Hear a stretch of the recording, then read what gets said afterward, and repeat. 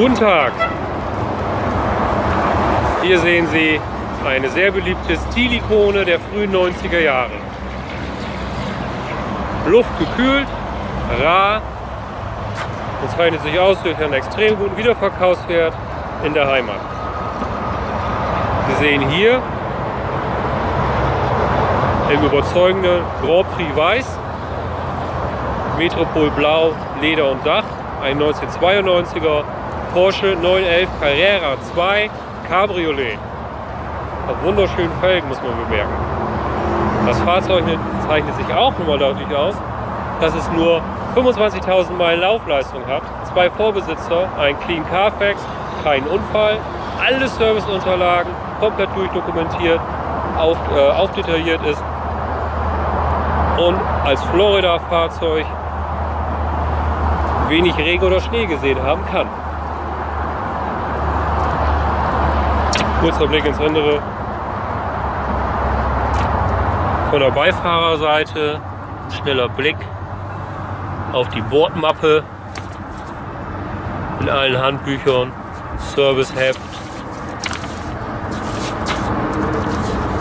Rechnungsbelege, alles ist da. Hier, liebe potenzielle Käufer, das Fahrzeug ist ja Tiptronic, Automatik. Sehr schön zum Cruisen. Angenehm im Cabrio und im Targa. Es muss nicht immer Handschalter sein. Fahrzeug im absoluten Originalzustand. Hier sieht man auch das Porsche Radio.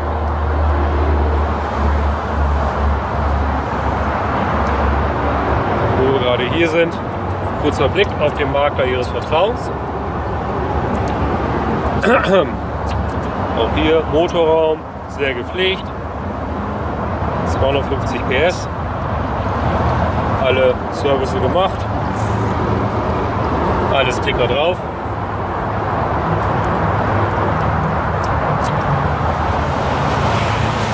Kurzer Blick von hier. Der hat das Soundpaket, der das Komfortpaket, die elektrisch verstellbaren Sitze. 964er hat auch schon Airbag. Und hier ein kurzer Blick auf die Laufleistung. 24.967 Meilen, also sogar noch weniger als gedacht. Rückbank, Tonneau-Cover.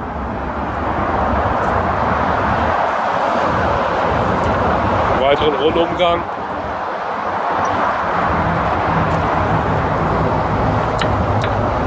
Noch ein Blick in den Kofferraum. Auch hier alles sauber. Sticker, Option Sticker unter dem Motorraumdeckel. Immer ein gutes Zeichen, meine Herrschaften. Und auch hier alles da. Noch mehr Werkzeug. Ja, das ist ein wunderbares Beispiel für einen 964er Cabrio zum sofortigen Losfahren. Wir, das Team von Schoner Autoburgers und Fort Lauderdale, Florida, wünschen Ihnen, lieber Kunde, allzeit gute Fahrt und viel, viel Vergnügen mit diesem schönen luftgekühlten Porsche. Da wir uns nun hier schon bei unserem deutschen Verschiffungspartner befinden, bewegen wir das Fahrzeug nun direkt zum Container. Dort wird das Fahrzeug im Container verpackt. Der Container geht nach Miami auf Frachter und der Frachter bewegt sich dort nach Bremerhaven zur Entladung, zur Homologation und zum Antransport an den Endkunden. Vielen Dank und auf